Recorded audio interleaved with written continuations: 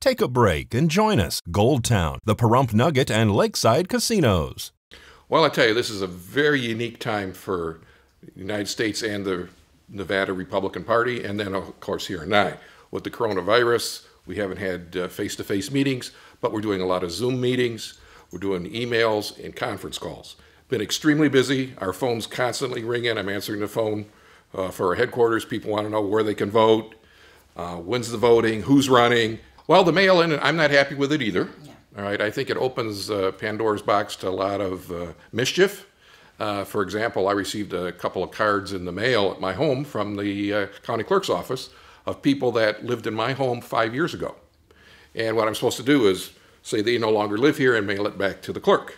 Well, I will do that, but how many other people are getting those type of cards and aren't mailing them back? There's over, I understand, over 3,000 in Nye County that they've sent these cards out to, and uh, that concerns me because that some people are probably going to get it. Well, this person doesn't live here, and they'll just throw it away. Then the clerk's going to think there's still legitimate voters at that address, and so somebody may play some games and end up voting for somebody who doesn't even live here. And that's a concern versus a, an absentee ballot where you have to apply for the ballot and you get it so they can verify who's getting that absentee ballot. Mail in, it's a free for all. They'll get a ballot um, and uh, they'll check off who they want and they mail it back in. Doesn't cost anything, it's free. Or you can actually take it to the clerk's office and hand deliver it if you don't want to send it through the mail. Well, right now we're actually uh, concentrating a lot of efforts on reelecting President Trump.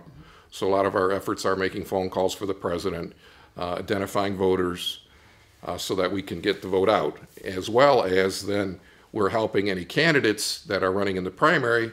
Uh, if they need some help or advice or guidance or need some volunteers, we can help set that up as well. We do have a website, nygop.org, they can go to uh, and volunteer there. Uh, they can call headquarters at 775 525 2500.